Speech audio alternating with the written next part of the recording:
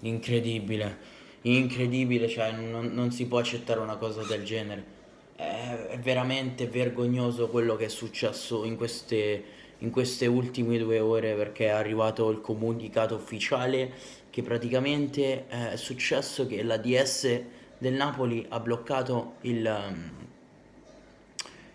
il viaggio verso Torino dei giocatori del Napoli. Complimenti, complimenti, complimenti, complimenti. Poi però non vi lamentate quando vi offendono, perché io stavolta sto dalla parte dei, dei coppi, della Juve, perché comunque ci hanno ragione.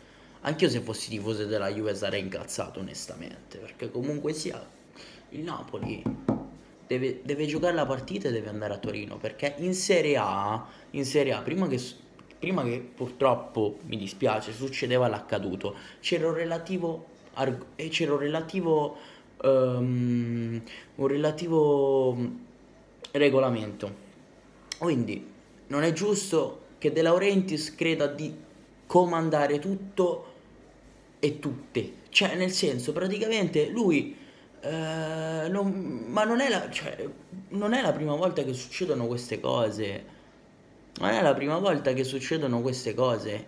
E sto parlando del Napoli, eh. Sto parlando del Napoli.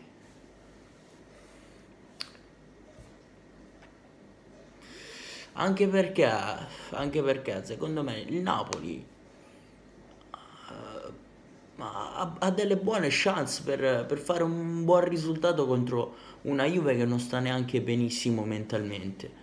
Quindi non vedo il motivo per cui non, non, non vogliate partire per Torino.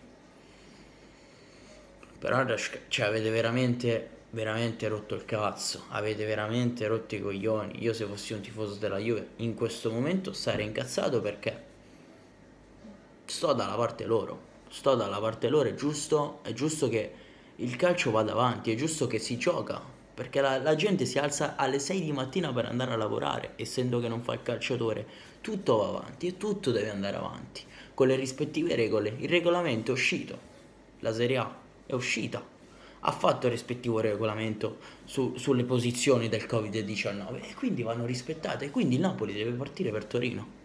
Non ci stanno scusanti, non ci sono scuse. Non ci sono scuse. Non ci sono scuse. Stavolta mi dispiace dirlo, però ci hanno ragione loro. Ci hanno ragione loro. Ed è giusto che i tifosi della Juve si incazzano. Il Genoa? Vogliamo parlare del Milan?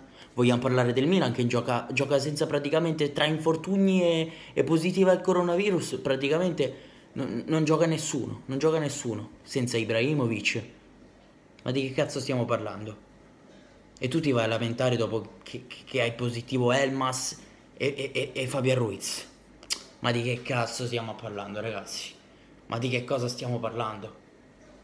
Comunque bisogna intervenire, bisogna farsi sentire perché non è giusto, non è giusto, bisogna assolutissimamente fare qualcosa e su questo non c'è dubbio. Fatemi sapere ovviamente anche voi qua sotto nei commenti cosa ne pensate, iscrivetevi al canale se ancora non l'avete fatto, lasciate like, commentate, condividete, un bacio a tutti e prima di lasciarvi vi lascio il link in descrizione del mio canale Telegram delle scommesse, vi lascio qui sotto in descrizione il mio account Instagram e mi raccomando andatemi a seguire anche là. Un bacio a tutti. Almeno Lazio Inter se gioca. Però non è più pallone. È una merda così.